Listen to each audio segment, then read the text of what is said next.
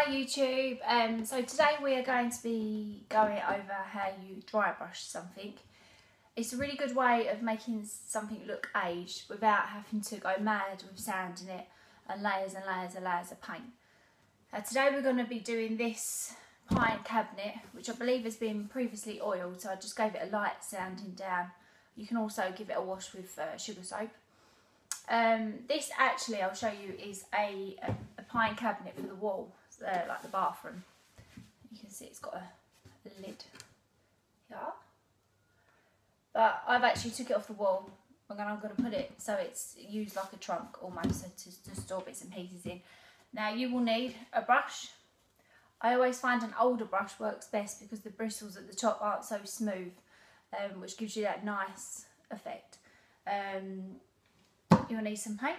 Now most videos you will see will actually be in, they'll dry brush in a white or a cream or something really light, but I'm actually going to use a really, really dark, dark blue today. And then what I'm going to do is once it's dry, I'm actually going to go over it in a, in a grey. Alright, so yeah, you will need a brush, some paint, and then some paper. If you're using a big tin of paint, um, I would say either use the lid, put some paint on the lid, um, or decant some into a small bowl because what you don't want to be doing is dipping the brush in and out of the pot because then your, your brush will become saturated and therefore see that's not what you want because it's dry brushing. Right, okay, let's start. So we're going to start with the blue first. And don't worry because when you start putting it on, it will look a lot darker and you'll think I'm just painting it but you're not because once it dries it will soak in. Now I've got some paint in the lid here. Now make sure the paint is really really well stirred. This is Valspar which everyone uh, in England sort of losing their mind over a little bit. You can only get it in B&Q and these are just little tester pots. I tend to paint and dry brush everything in a silk paint because I like the sort of the mid sheen you get rather than the matte um, obviously, you're going to put a varnish over it anyway, so if you are going to use a matte, that's absolutely fine. But my personal preference is silk. And then you just start. So you, you dab into the paint, but make sure it's very, very dry. If you think, oh, put too much on, you've got this. You can dab, dab some off. Obviously, that is the point of dry brushing because your, your brush is almost dry. And that's it. And you just start applying it. I personally would always say start around the back or at the side because if you start at the front and you've gone a bit mad, obviously you that's the bit everyone's going to see. And you literally just start going over as I am. Not in any sort of direction because what you're doing is you're you're pushing the paint in. You're really just going over. So if I run my hand over that now, it almost feels dry.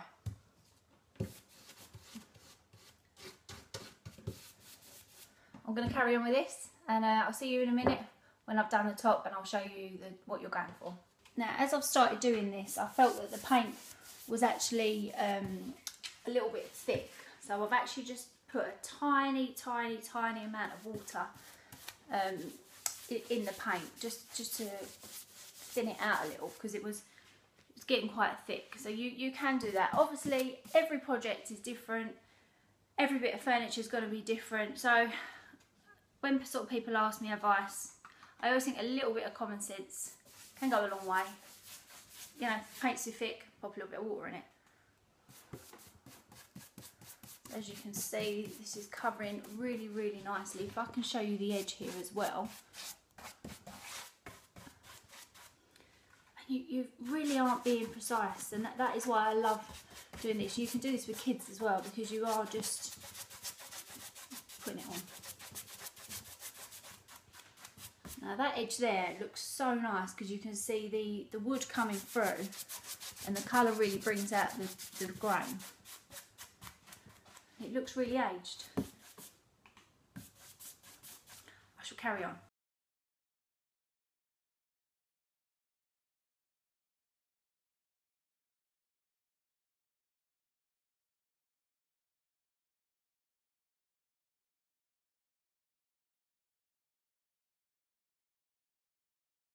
Okay, so now it's all dry. It does dry really, really quickly because you're using a dry brush to put it on.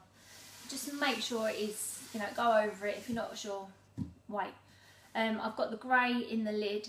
One thing I would say is don't water down this grey at all because if you put water on this, it's going to start to lift and you're going to get like a, a washed effect. So you want this to be um, just as it is out of the, out of the, the tin. One thing I would say is to use a really old brush. I actually buy these really cheap brushes. You get them in the pound shop. You get like 10 for a pound.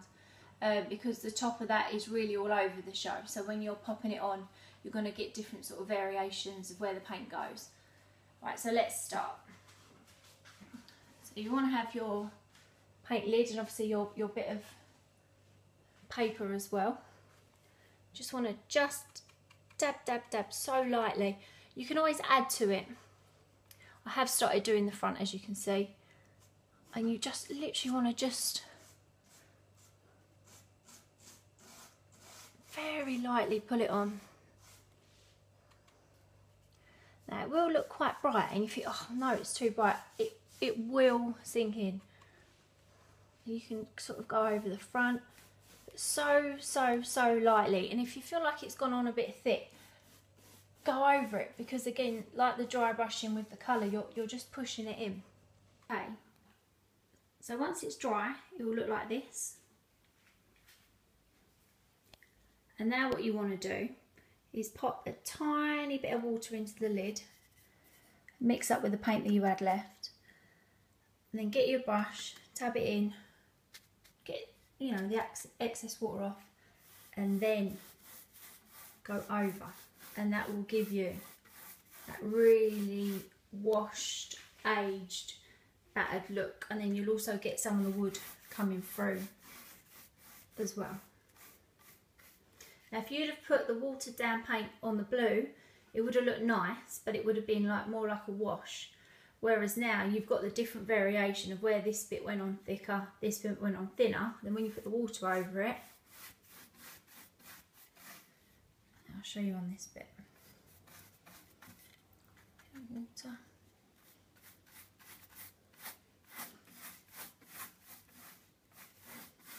See how much nicer that looks? Okay, so now the water's dried. I'm actually just going to put a little bit of this red. You can use any colour, obviously any colour variations you want, and you can do as many colours as you want. I'm just adding this red to the front because it's got a bit of a, a nautical theme going to it. So I'm just going to add this to just the front, some of the corners. I'm not going to put water over this. I'm just going to really push it in